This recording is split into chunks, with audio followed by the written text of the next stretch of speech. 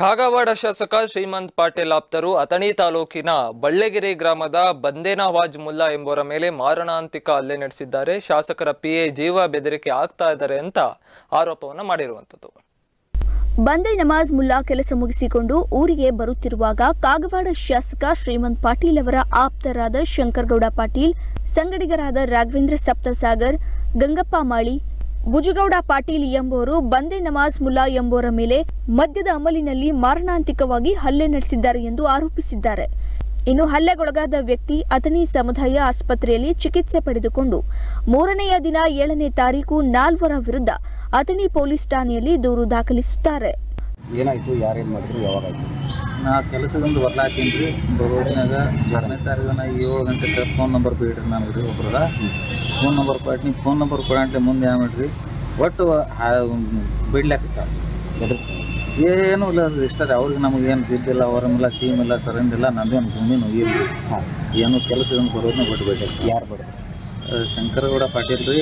ಮುಂದೆ ಭೋಜಗೌಡ ಪಾಟೀಲ್ ರೀ. ಗಂಗಪ್ಪ ಮಾಳಿ ರೀ ಹಾಂ ಮುಂದೆ ರಾಘವೇಂದ್ರ ಸರಸಾಗರ್ ಬಡ್ದ ಮುಂದೆ ಏನಂದ್ರೆ ಮುಂದೆ ಏನಂತಾರೆ ಒಟ್ಟು ಒದಿದು ಬಿಡಿದು ಮಾಡಾಯ್ತಿರಿ ಮಾಡಾತಾಡ್ಲಿ ಅವ್ರವ್ರ ನಿಷೇಧವಾಗಿ ಏನು ಮಾತಾಡ್ತಾರೆ ನಿಮ್ಗೆ ಬಂದ ಮತ್ತು ನಾವು. ನಾವು ಊರು ಬಿಡ್ಕೊಂಡ್ರಿ ಬಿಡ್ರಿ ನಂದೇನೈತ್ರಿ ಸಮಾಧಾನ ನಾನು ಎದಕ್ಕೆ ನಾನು ತಿಳಿದಿದ್ದವ್ರ ನಾ ಏನು ಮಾಡಿದ್ರೆ ತಂದ್ರು ಒಟ್ಟ ಬಿಡ್ಲಾಕ್ತೀನಿ ನಿಮ್ಗೆ ಏನೇನು ಆಯ್ತು ಆ ಹೇಗೆ ಬಿದ್ದೀನಿ ರೀ ನಾನು ಬಿದ್ದ ನಂತರ ಅವ್ರು ಹಾದ್ರಿ. ಮುಂದೇನು ಮುಂದೆ ಏನು ಮಾಡಿ ಅವ್ರು ಏನು ಹಾದ್ರಿ ನಾನು ಪ್ರಜ್ಞೆನೇ ಇಲ್ಲ. ನಿಮ್ಮ ಕಡೆಯಿಂದ ಮುಂದೆ ಏನು ಮಾಡಿ ಮುಂದೆ ಏನು ರೀ ಇಲ್ಲಿ ಬಂದ ಸರ್ಕಾರ ದವಾಖಾನ್ಯಾಗ ಅಡ್ಮಿಟ್ ಆಗಿವ್ರಿ. ರೀ ಅಡ್ಮಿಟ್ ಹಾಕಿರಿ ಮುಂದೆ ರಜಾಕಾದು ತಂದು ಕೇರಿ ಕಂಪ್ಲೀಟ್ ನಾವು ಅವ್ರು ಮಾಡಿದ್ವಿ ರೀ. ಮಾಡಿದ ನಂತರ ದಿನಕತನ ಏನು ಇಲ್ಲ ನಾವು ದವಾಖಾನೆಗೆ ಹೋಗ್ಬೇಕಾದ್ರೆ ಈ ಸದ್ಯದಾಗ ಇದನ್ನ ಯಾವಾಗ ಮುಗೀತಿ ಯಾವಾಗ ಹೋಗೋದು ನಾವು ಕೂತಿದ್ರೆ ನಮ್ಗೆ ಆ ಕಡೆ ಹೋಗೋದಾತು ಈ ಕಡೆ ಇನ್ನು ದೂರು ದಾಖಲಾಗಿದ್ದರೂ ಅದನ್ನಿ ಪೊಲೀಸರು ಆರೋಪಿಗಳ ಮೇಲೆ ಯಾವುದೇ ಕ್ರಮಗಳನ್ನ ಕೈಗೊಂಡಿಲ್ಲ.